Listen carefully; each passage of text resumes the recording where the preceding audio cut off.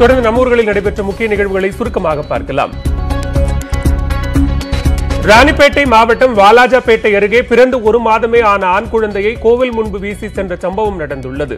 வன்னிமேடு பகுதியில் உள்ள அகஸ்தீஸ்வரர் ஆலயம் முன்பு குழந்தை அழும் சத்தம் கேட்டது. அந்த வழியாக சென்றவர்கள் சென்று பார்த்தபோது பச்சிலம் குழந்தை ஒன்று அங்கு கிடந்தது. குழந்தையை மீட்ட அவர்கள் அது பசியார பால் கொடுத்து போலீசாருக்கு தகவல் தெரிவித்தனர். இதையடுத்து மீட்கப்பட்ட குழந்தை வாலாஜாபேட்டை அரசு தலைமை மருத்துவமனையில் அனுமதிக்கப்பட்டது. சென்னையில் கேட்டரிங் உரிமையாளர் தர வேண்டிய பணத்திற்காக ஓட்டுநர் கடத்தப்பட்ட நிகழ்வு நடந்துள்ளது.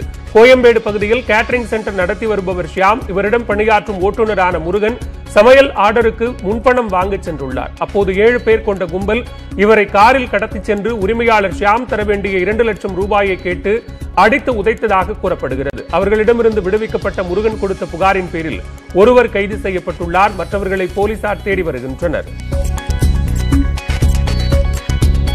புதுச்சேரி நெல்லிக்குப்பம் அருகே இயங்கி வரும் பாரத் பெட்ரோலியம் பங்கில் கலப்படம் நடைபெறுவதாக பொதுமக்கள் குற்றம் சாட்டியுள்ளனர்.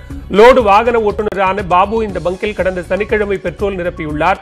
வாகனம் பழுதடைந்ததால் பணிமனையில் அதனை சரி செய்ய கொடுத்துள்ளார். அப்போது பெட்ரோல் டேங்கில் மண்ணெண்ணெய் கலந்திருப்பது தெரிய வந்தது இதுகுறித்து சம்பந்தப்பட்ட பெட்ரோல் பங்கில் உரிய பதிலளிக்காததால் முற்றுகை போராட்டத்தில் அவர் ஈடுபட்டார். சேலம் அஸ்தம்பட்டி காவல் நிலையம் எதிரே அடையாளம் தெரியாத நபர் தூக்கில் தொங்கியபடி சடலமாக மீட்கப்பட்டார். கொள்ளன்குட்டா ஏரியில் அரசு பட்டாவில் வீடு கட்டி வசித்து வந்தவர்கள் நீதிமன்ற உத்தரவால் அங்கிருந்து அப்புறப்படுத்தப்பட்டனர். இதனால் அங்கு வீடுகள் காலியாக உள்ள நிலையில் அறுபது வயது ஆண் சடலம் ஒன்று தூக்கில் தொங்கியபடி கண்டெடுக்கப்பட்டுள்ளது. இவர் யார்? கொலையா? தற்கொலையா என்பது குறித்து போலீசார் விசாரணை நடத்தி வருகின்றனர். காஞ்சிபுரம் அருகே செய்யாற்றில் அனுமதியின்றி மணல் அள்ளிய மூன்று பேரை போலீசார் கைது செய்தனர். மாகரல் கிராமத்தில் உள்ள செய்யாற்றில் இரவு நேரத்தில் சட்டவிரோதமாக மணல் அள்ளப்படுவதாக போலீசாருக்கு தகவல் கிடைத்தது. இதனையடுத்து அங்கு சென்ற போலீசார் ஆற்றில் சில ஜேசிபி இயந்திரங்கள் மூலமாக மணல் அள்ளியதை கண்டறிந்தனர். பின்னர் அங்கிருந்த ஐந்து லாரிகளை பறிமுதல் செய்த போலீசார் மணல் திருட்டில் ஈடுபட்ட மூன்று பேரை கைது செய்தனர்.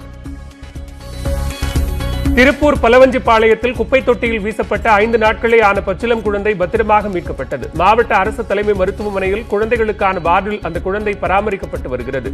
பச்சிலம் குழந்தையை குப்பை தொட்டியில் வீசிச் சென்ற தாயை கண்டறிய போலீசாருக்கு தகவல் தெரிவிக்கப்பட்டுள்ளது. ராணிப்பேட்டை மாவட்டம் அரக்கோணம் அருகே ஏரியில் குளித்துக் கொண்டிருந்த பட்டதாரி இளைஞர்கள் இருவர் நீரில் மூழ்கி உயிரிழந்தனர். கிருஷ்ணாம்பேட்டை பகுதியைச் சேர்ந்த அலெக்சாண்டர் மற்றும் அவரது நண்பர் ஹரிசங்கர் ஆகியோர் அருகில் உள்ள ஏரியில் குளித்துக் கொண்டிருந்தனர். அப்போது ஆழமான பகுதிக்கு சென்றதால் இருவரும் நீரில் மூழ்கி உயிரிழந்தனர். இதுகுறித்து தகவல் அறிந்து வந்த தீயணைப்புத் துறையினர் இருவரது உடல்களையும் மீட்டு பிரேத பரிசோதனைக்காக அரக்கோணம் அரசு மருத்துவமனைக்கு அனுப்பி வைத்தனர்.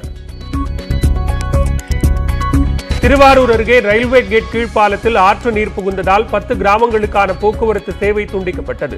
கூடூர் காட்டாற்று அருகே உள்ள ரயில்வே பாதையில் ஆளில்லா கிராசிங் கேட் அகற்றப்பட்டு சுரங்க பாதை அமைக்கப்பட்டது. இந்த பாதை வழியாக சுற்றுவட்டார கிராமங்களுக்கு சென்று வர முடியும். இந்த நிலையில் ஆற்றில் வெள்ளப்பெருக்கு ஏற்பட்டுள்ளதால் கசிவு ஏற்பட்டு சுரங்க பாதையில் தண்ணீர் புகுந்தது. இதனால் பத்து கிராமத்திற்காக போக்குவரத்து சேவை தற்காலிகமாக துண்டிக்கப்பட்டுள்ளது.